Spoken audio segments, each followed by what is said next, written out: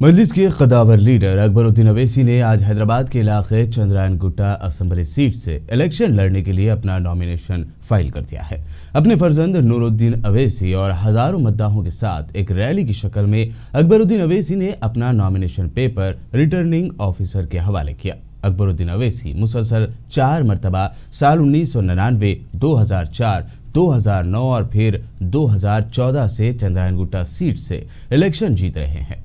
حال ہی میں کانگریس چھوڑ کر ایم آئی ایم میں شامل ہونے والے لیڈر حافظ عبد الستار اور ان کے سینکڑوں حامی بھی اس موقع پر موجود تھے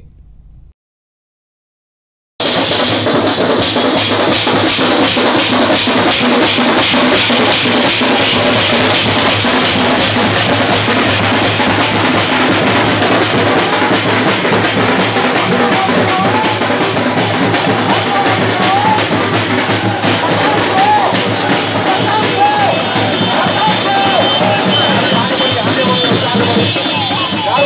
سامنے دیکھ کے آگے بڑھیے سامنے سامنے چلیے آگے بڑھیے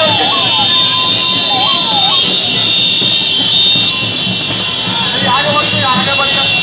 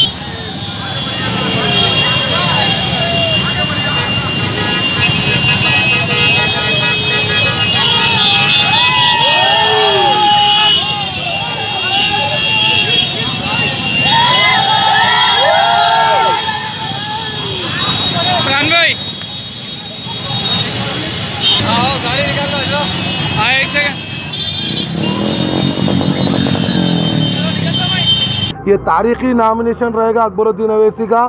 میں حافظ عبد الستار تمام ساتھیوں کا شکر گزار ہوں جو یہاں پر آدھے گھنٹے سے موجود ہے ہمارے حیدرآباد سے آنے والے وقت میں ایک ایم پی کا آنے والے حیدرآبادی ایم پی الیکشن ہے۔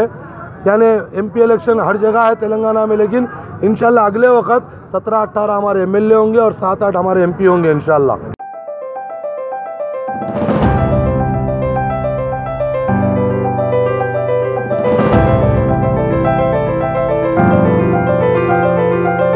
آپ دیکھ رہے ہیں ٹی کے فائیو تلنگانہ کا پہلا ملٹی لنگول نیوز چینل۔